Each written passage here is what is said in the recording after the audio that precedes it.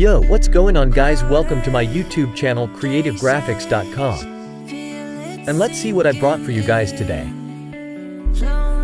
Today we are going to make this blue tone color grading effect using Adobe Photoshop.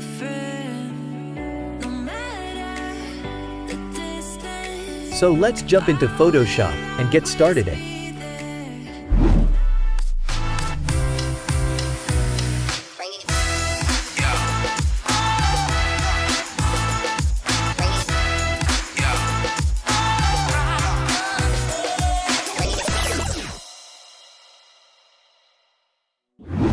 So before starting the tutorial, you can follow my socials, I put all links in the description, and be sure to subscribe to my channel for more tutorials.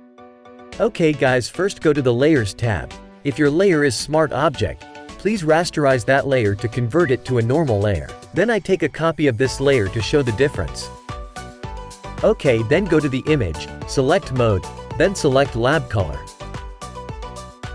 Then click don't merge, we don't need to merge these layers.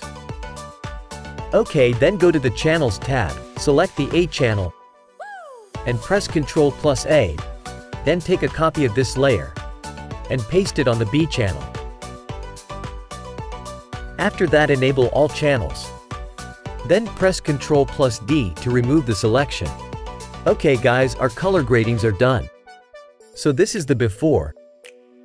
This is the after. So that's it guys. This is the simple way to make a blue tone color grading effect using Adobe Photoshop. So if you want to learn more like these Photoshop tutorials, please leave a like this video, hit the subscribe button with the notification for my new tutorials, and also leave a comment and don't forget to follow my socials. So see you guys in the next vid, take care and peace.